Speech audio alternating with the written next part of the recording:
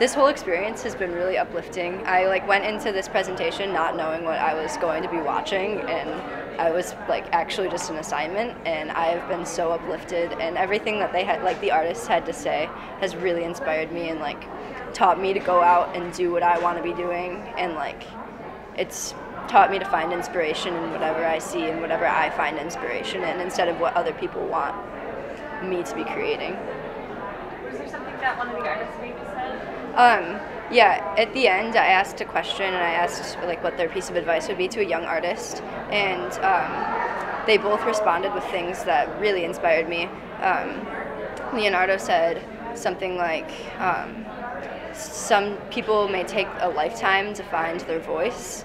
But it's so important that you actually, it's like worth finding your voice. If you actually take the time to do it, it's worth it. And then um, Katharina said something like, um, what was it that she said? Oh yeah, she said it's like falling in love, which, and then she explains like the emotional connection with falling in love. And a big thing that I'm into is the idea of falling in love with life first, like making sure you're doing what you want to be doing. So that was very inspirational for me to hear.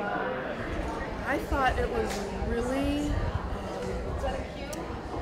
really mind blowing to hear artists talk about their process, but also about how they are affected by their art. Um, as a person who does not create art but consumes art, um, it it's a completely different perspective, and so. Um, I understand what it's like to be the person who consumes the art, but to understand that whole thinking about what it is to create it and then let it go is kind of fascinating to me. Art, art and science. Um, I, I think, I think they're they're also just one dimension, just one dimension, just like um, not like any phys- physical um, quantities. Um, so so they, they basically have this relationship this this really um, acquaintance relationship um, not just art and science but uh, but also the um, the concept of realism and, and abstraction. That I, I think there's no such thing that, that is that there's just only one. Just just because there's there's not only um, like separated mediums. All mediums it's such as um, how Leonard explained, it, mediums are everything. Then, then I mean, it, it's so ambiguous. All, all this. That's why um, this this ambiguity of determining um, a lot of, of different um, dimensions of, of utilizing things. Um, also, science and, and art uh, are like um, the most complex dimension in, a in a mind, a way of thinking that that is what makes the artist is the DNA of, of the artist's mind.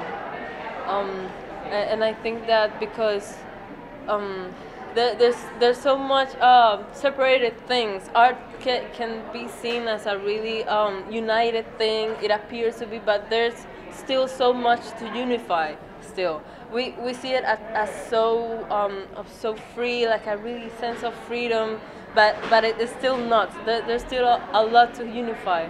Uh, such in life, such in is um, in, in all the other explanations about finding finding your voice, that, that like they like um, what they were speaking, you know. Um,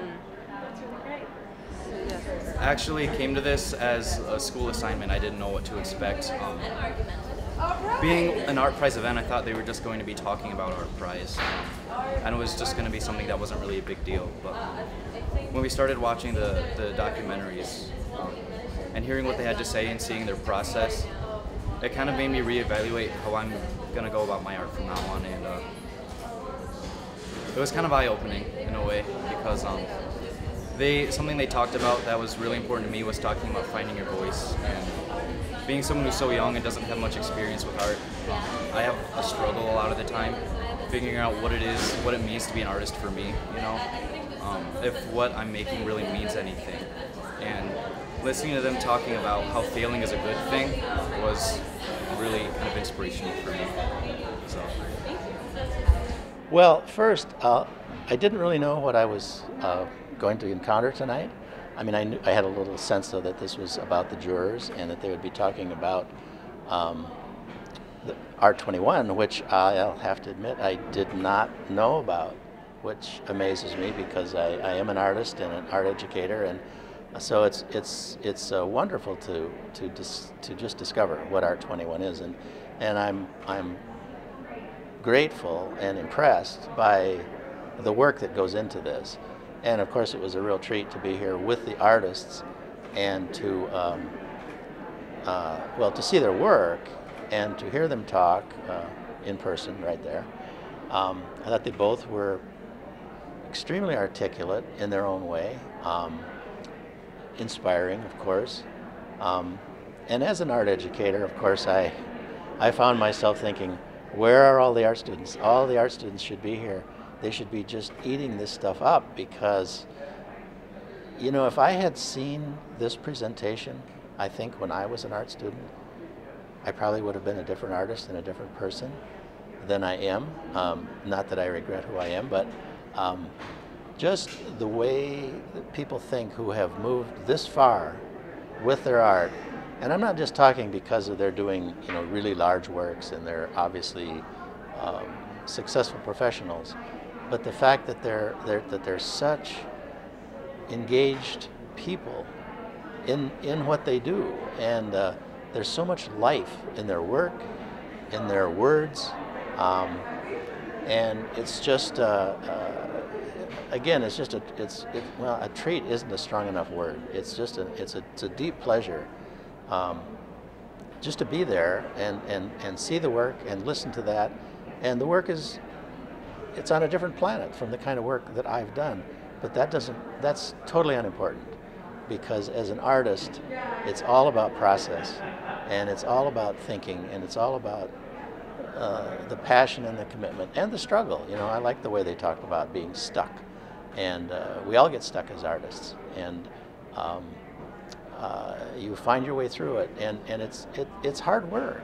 You know, being an artist is, is just hard work, and you really have to love the work. Um, I think as a, as an educator, I I think that was probably a, both a goal and a frustration was to help students learn how to work and how to love working, and not expect immediate rewards. So. I could go on, but that's That's that's probably That's enough. So so thank you very much. Thank you.